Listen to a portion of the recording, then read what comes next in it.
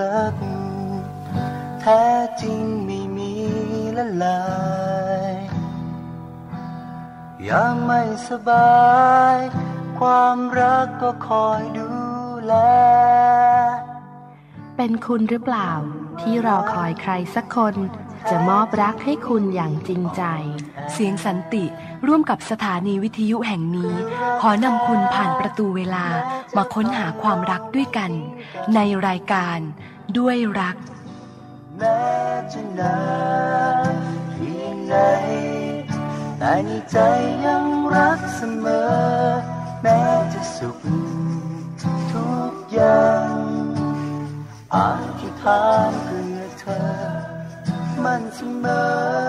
เพราะในใจของเรารู้กัน สวัสดีค่ะ ต้อนรับคุณผู้ฟังทุกท่านเข้าสู่ช่วงของรายการด้วยรัก เช่นเคยนะคะ เป็นประจำค่ะครึ่งชั่วโมงโดยประมาณ เราจะอยู่เป็นเพื่อนกันตรงนี้ โดยดิฉันอัมพาพร ปัญญาลาภสกุลผู้ดำเนินรายการ และทีมงานเสียงสันติจังหวัดเชียงใหม่ผู้สร้างสรรค์และผลิตรายการด้วยรักนั่นเองค่ะ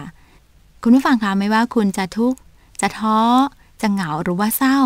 เราพร้อมที่จะเป็นส่วนหนึ่งที่จะคอยเป็นกำลังใจให้กับคุณผู้ฟังเสมอนะคะ อย่าลืมนะคะ อยากจะพูดคุยกับเรา ก็สามารถที่จะกดมาได้กับหมายเลขโทรศัพท์ 053 260 627 พูดคุยปรึกษากับทีมงานของเราได้นะคะ ต้องขอบคุณพระเจ้านะคะสำหรับพระคุณและความรักของพระเจ้าอีกครั้งหนึ่งที่มีอยู่เหนือชีวิตของเรานะคะ คุณผู้ฟังคะ โลกของเราทุกวันนี้มีแต่เรื่องเลวร้ายนะคะ เข้ามา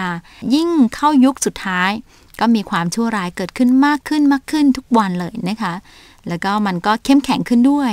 และมีการล่อลวงทุกรูปแบบเลย เพื่อที่จะขย่าวคนของพระเจ้าให้หลุดออกไปจากทางของพระองค์ แต่เราต้องขอบคุณพระเจ้าค่ะ ที่พระองค์ทรงบอกว่าคนที่พระเจ้าทรงเลือกสรร ไม่มีใครที่จะหลุดจากทางของพระเจ้าได้ เพราะว่าพระเจ้าคุ้มครองเราไว้อยู่ แต่อยู่ตรงที่ว่าเราต้องร่วมมือกับพระเจ้า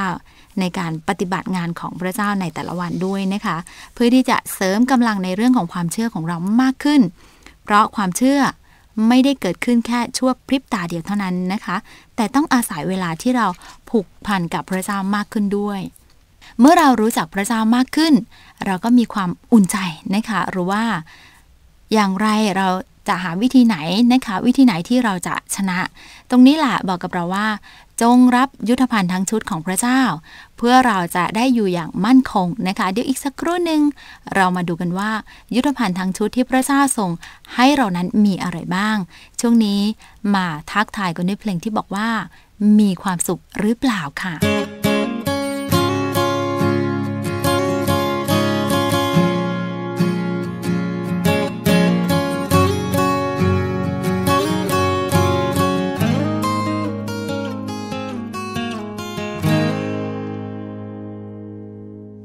วันหนึ่ง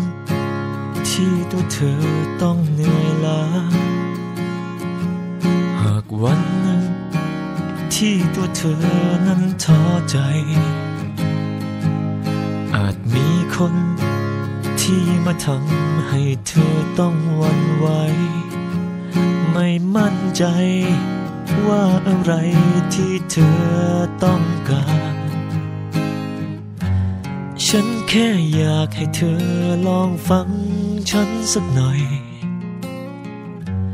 แล้วค่อยๆตรึกตรองมองดู เธอนั้นอาจจะมองไม่เห็นที่เธอเป็นอยู่ ลองถามใจเธอดู ว่าเธอนั้นรู้สึกอย่างไร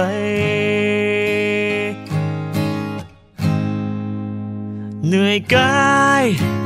ไม่ได้แปลว่าทุกข์สบาย ไม่ได้แปลว่ามีความสุข อะไร ที่มันทำให้เธอนั้นทุกข์ก็ลองถามตัวเองก่อนตอนนี้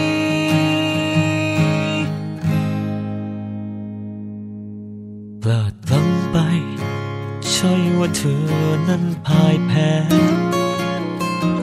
แค่เสียใจ ใช่ว่าเธอนั้นอ่อนแอ อยากถามว่าเธอยังจะสู้หรือยอมแพ้ ไม่ต้องแค่ว่ามีใครเข้าใจหรือเปล่า ฉันแค่อยากให้เธอลองฟังฉันสักหน่อย แล้วค่อยๆตรึกตรองมองดู เธอนั้นอาจจะมองไม่เห็น ที่เธอเป็นอยู่ ลองถามใจเธอดู ว่าเธอนั้นรู้สึกอย่างไร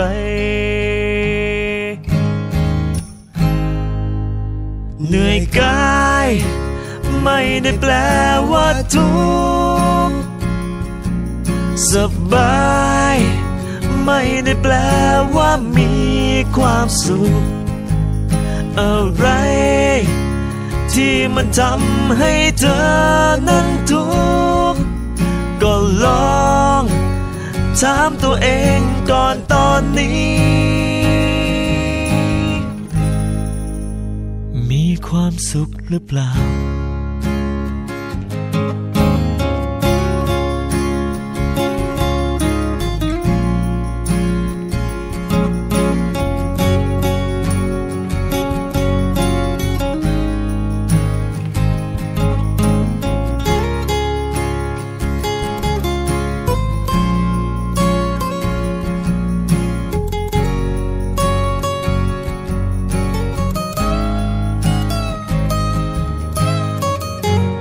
ฉันแค่อยากให้เธอลองฟังฉันสักหน่อย แล้วค่อยๆตรึกตรองมองดู เธอนั้นอาจจะมองไม่เห็นที่เธอเป็นอยู่ ลองถามใจเธอดูว่าเธอนั้นรู้สึกอย่างไร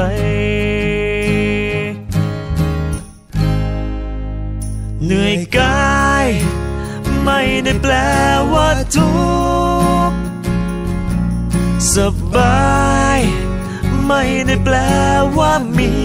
ความสุข อะไร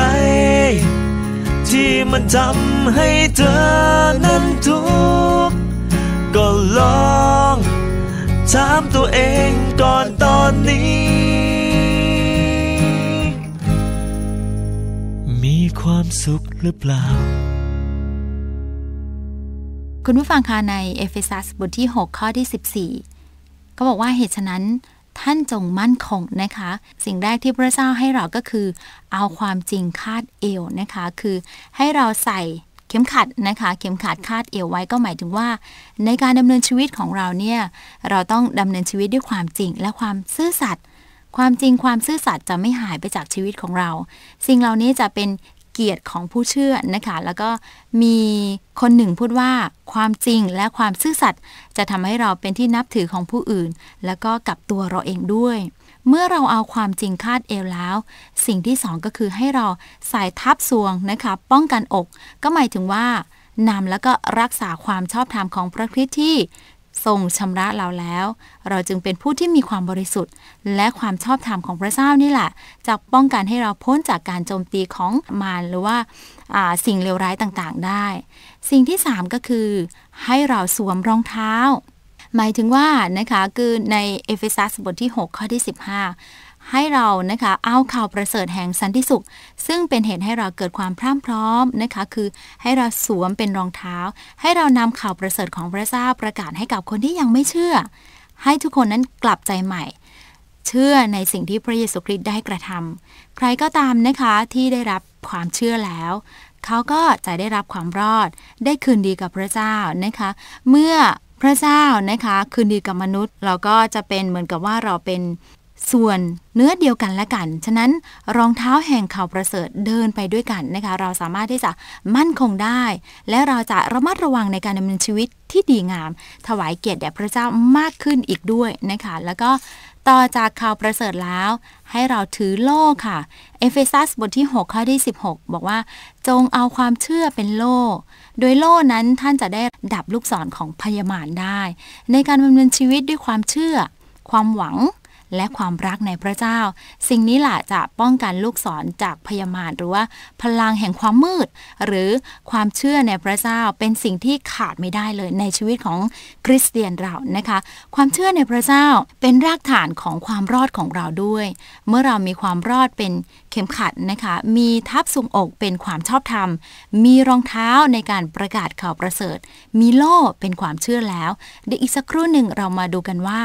มีอะไรนะคะยุทธภัณฑ์ทั้งชุดของพระเจ้าที่เหลือนั้นมีอะไรกันบ้าง ช่วงนี้มาฟังเพลงนี้กันก่อนค่ะ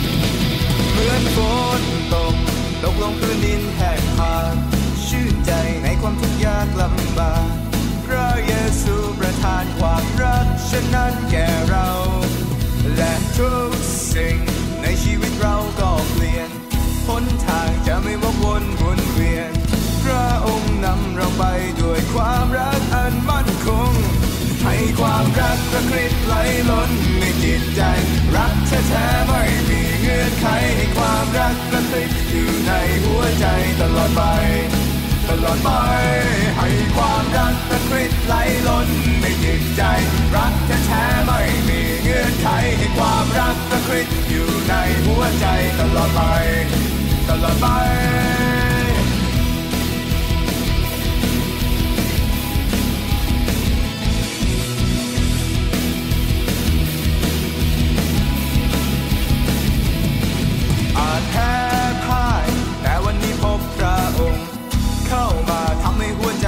นคง ด้วยพลังยิ่งใหญ่จากรักเบื้องบน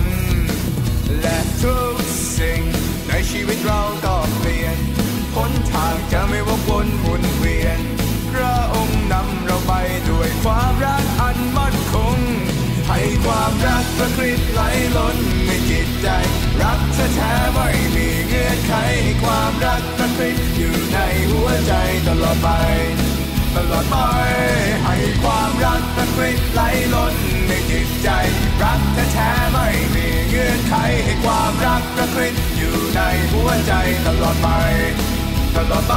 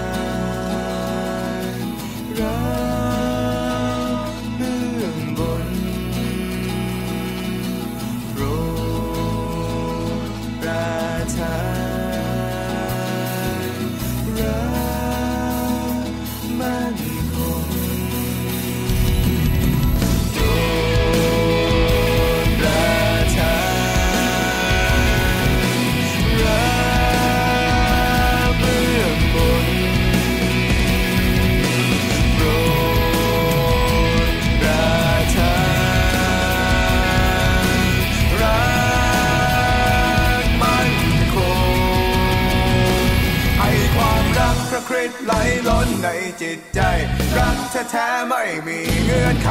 ความรักพระคริสต์อยู่ในหัวใจตลอดไป ตลอดไป ให้ความรักพระคริสต์ไหลล้นในจิตใจ รักแท้ๆไม่มีเงื่อนไขความรักพระคริสต์อยู่ในหัวใจตลอดไป ตลอดไป ให้ความรักพระคริสต์ไหลล้นในจิตใจ รักแท้ๆไม่มี งื่อนไขให้ความรักระคริสต์อยู่ในหัวใจตลอดไป ตลอดไป ให้ความรักตะกริดไหลล้นในจิตใจ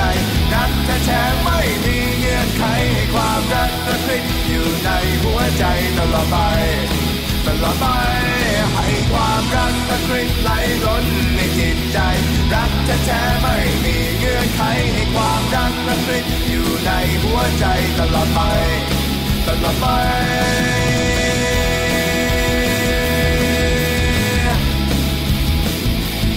ตลอดไป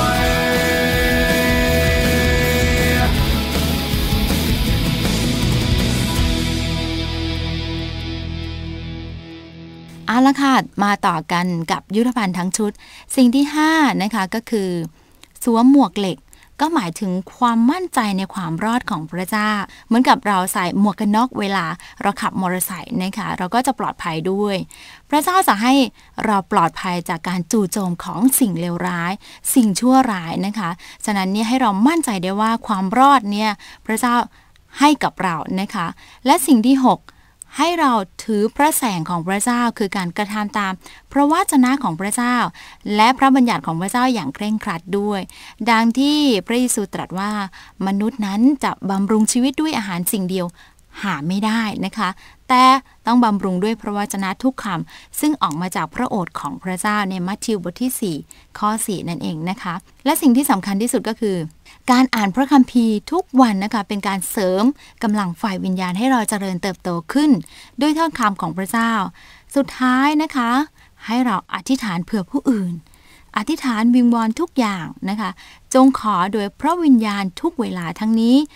ให้เราระมัดระวังด้วยนะคะ ในเรื่องของการดำเนินชีวิต ทั้งนี้จงระวังตัวด้วยความเพียรทุกอย่าง จงอธิษฐานเผื่อธรรมิกชนทุกคนนะคะ คุณผู้ฟังอะเรื่องของคนเนี่ยเขาบอกว่าให้เราพูดกับพระเจ้า เรื่องของพระเจ้านี่ให้เราพูดกับคนนะคะ ให้เราอานำทุกเรื่องราวมาพูดกับพระเจ้า ด้วยการอธิษฐานด้วยการวิงวอน และด้วยการขอบพระคุณ แล้วสันติสุขของพระเจ้าจากครอบครองจิตใจของเรานะคะ ทั้ง 7 สิ่งเป็นยุทธภัณฑ์ทั้งชุดที่จะนำเราพบกับชัยชนะเหมือนกับดาวิดใช่ไหมคะ เหมือนกับพระเยซูที่พบชัยชนะในถิ่นทุรกันดารและได้ชัยชนะที่ยิ่งใหญ่ที่สุดนั่นก็คือ ชัยชนะเนื้อหลุมฝังศพ คือการเป็นขึ้นมาจากความตายนั่นเองค่ะ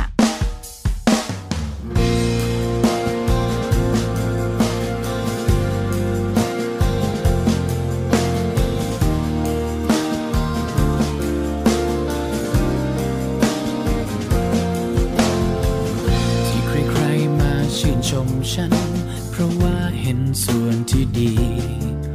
จากสิ่งลวงตาภายนอกที่มี จากสิ่งที่เพียงได้มอง ถ้าฉันไม่มีสิ่งเหล่านี้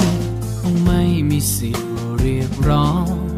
ให้พวกเขานั้นหันกลับมามอง จะเหลือสักคนรักฉันไหม่แต่เธอรักฉัน แม้ว่าไม่มีสิ่งใดปลอบโยนให้กำลังใจ ชุดมือฉันขึ้นมา ชีวิตหนึ่งนี้ ได้มีความหมายเพราะเธอ ไม่ใช่คนเลิศเลอมีส่วนไม่ดีมากมาย แต่เธอมองามไปห่วงใยเคียงข้างกายใช่รักฉันเพราะแค่มีอะไร แต่รักฉันแม้ว่าฉันเป็นไงก็ตาม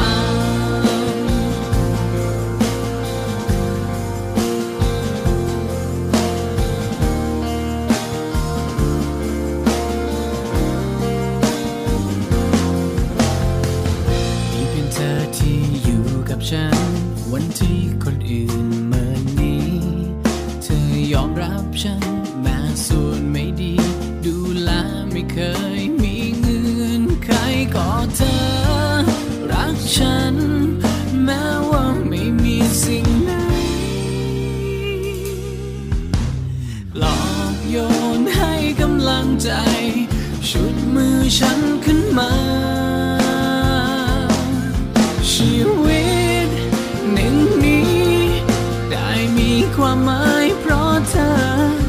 ใช่คนเลิศเลอมีส่วนไม่ดีมากมาย ตาเธอมองข้ามไป ห่วงใยเคียงข้างกายใช่รักฉันเพราะแค่มีอะไร แต่รักฉันแม้ว่าฉัน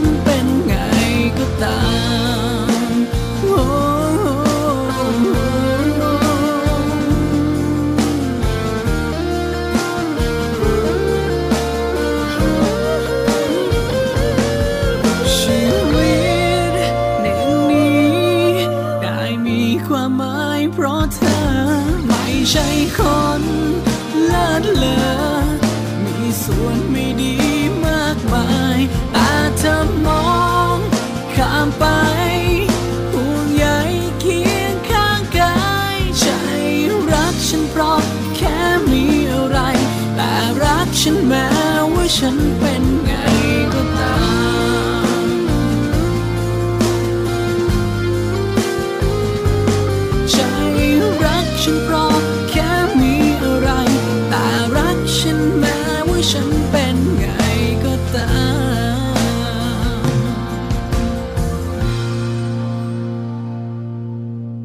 อประชาสัมพันธ์กันสักนิดหนึ่งนะคะ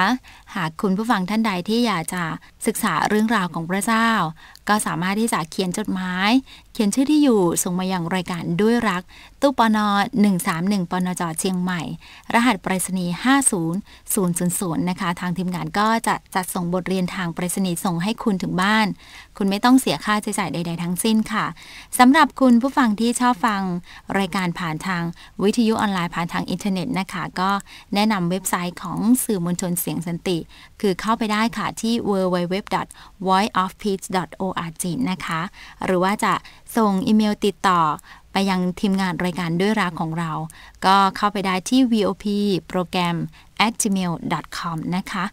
คุณผู้ฟังคะให้เราสวมใส่แล้วก็ถือยุทธภัณฑ์ทั้งชุดของพระเจ้า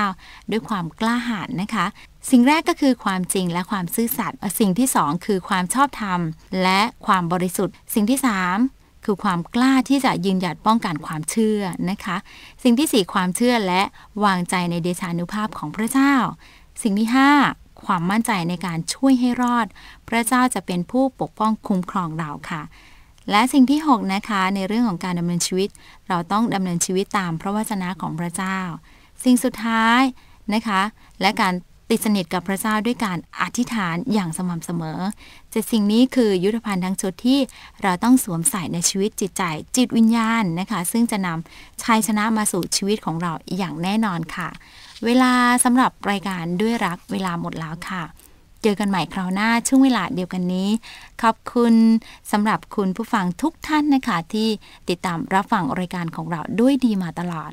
ขอบคุณสำหรับทีมงานสื่อมวลชนเสียงสันติจังหวัดเชียงใหม่ด้วยเช่นกันนะคะ ที่ได้ผลิตรายการด้วยรักอยู่เป็นเพื่อนกับคุณผู้ฟังตรงนี้ด้วย ลากันไปก่อนนะคะ ขอพระเจ้าทรงอวยพระพรทุกๆทท่าน เจอกันใหม่คราวหน้าช่วงเวลาเดียวกันนี้ สวัสดีค่ะ